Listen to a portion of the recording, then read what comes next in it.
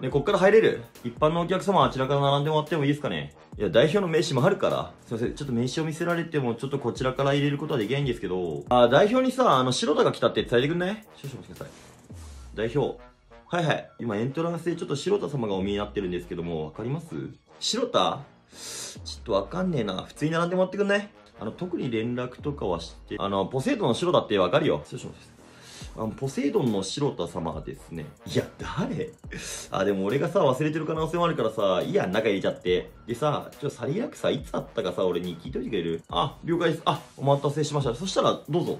ありがとうね。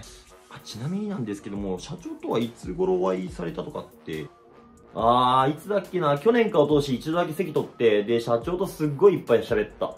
じゃ、あ、そうなんですね。いや、一度だけかよ。